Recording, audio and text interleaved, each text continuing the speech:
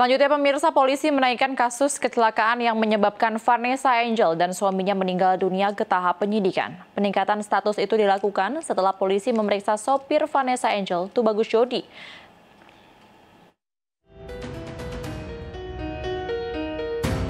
Kasus kecelakaan yang menyebabkan pasangan selebriti Vanessa Angel dan suaminya Febri Ardiansah meninggal dunia memasuki babak baru. Polisi menaikkan status kasus ini ke tahap penyidikan setelah Tubagus Jodi, sopir mobil yang ditumpangi Vanessa Angel dan suaminya, diperiksa di Polres Jombang. Terbaru, polisi juga memeriksa Siska pengasuh gal anak Vanessa Angel sebagai saksi. Meski demikian, polisi belum menetapkan tersangka dalam kasus ini. Polisi melakukan tes urin terhadap Tubagus Jodi, sopir yang mengemudikan mobil Vanessa Angel dan Febri Ardiansah. Hasilnya Tubagus Jodi negatif alias tidak dalam pengaruh narkoba maupun alkohol saat berkendara. Selain itu, polisi juga telah melakukan olah tempat kejadian perkara di lokasi kecelakaan termasuk menelami dugaan sopir tengah bermain ponsel saat berkendara. Polisi menduga saat itu kecepatan mobil di atas 100 km per jam.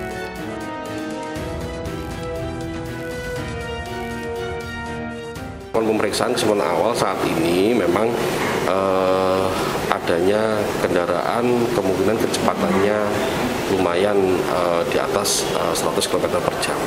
Tidak ada pengereman? Ya, kemarin kan kita sama-sama melihat pada saat ada Pak Dirlantas tidak ada upaya pengereman.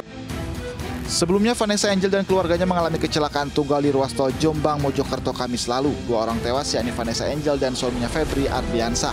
Sementara tiga orang lainnya terluka yakni anak Vanessa Angel yang masih balita, pengasuh anak Vanessa, dan asisten yang mengemudikan mobil. Vanessa dan suaminya telah dimakamkan di TPU Islam Malaka, Jakarta Selatan dalam satu liang lahat Jumat kemarin. Tim Liputan iNews melaporkan.